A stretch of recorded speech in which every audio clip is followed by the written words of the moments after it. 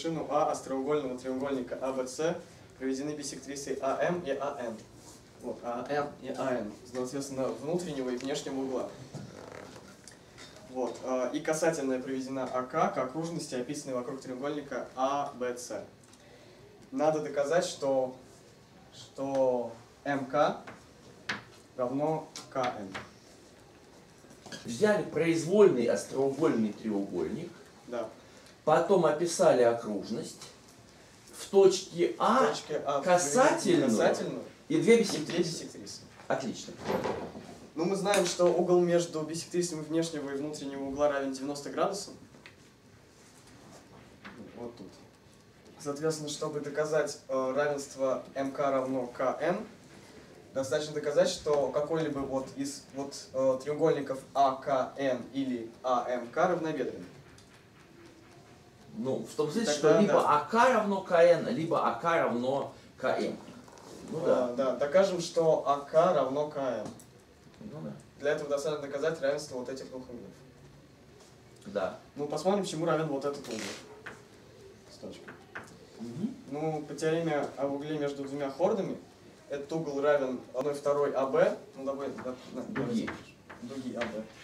АМБ равен 1 второй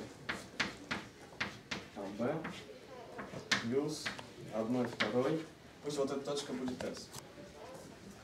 1 второй СС. Он по теореме об угле между хордой касательной равен э, вот этому большому углу. А, а он, соответственно, равен сумме вот этого угла и этого. Значит, угол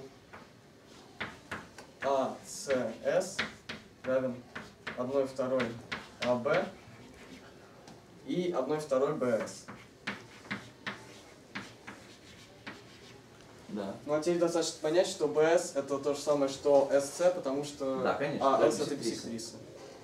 Ну и все. Э, И получилось, что угол АМБ равен А. углу АМБ равен углу А- КА. АЦС равен углу КАМ. Я ничего не понимаю. Ну вот мы получили, что угол АМБ, вот Да. АМБ, Да, равен углу АЦС. да. А АЦС это и есть угол КАМ. Потому что вот АК это касательный.